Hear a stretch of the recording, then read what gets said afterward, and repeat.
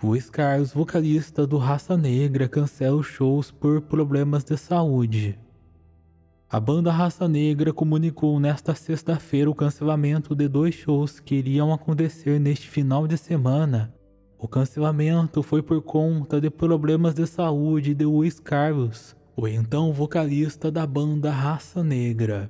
O comunicado diz assim: a banda Raça Negra informa que, devido a problemas de saúde do vocalista Luiz Carlos, os shows deste final de semana nas cidades de Taubaté e Manaus serão adiados.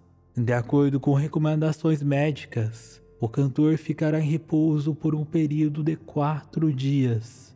A banda Raça Negra agradece a compreensão dos fãs e contratantes e em breve retomará a agenda de shows.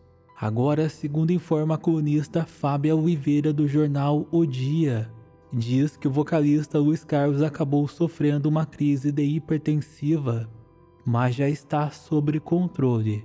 Muitos fãs foram nas redes sociais e mandaram mensagens de apoio ao cantor. Vamos orar pela recuperação dele, disse uma seguidora. Muita saúde para nosso querido Luiz, disse o segundo fã.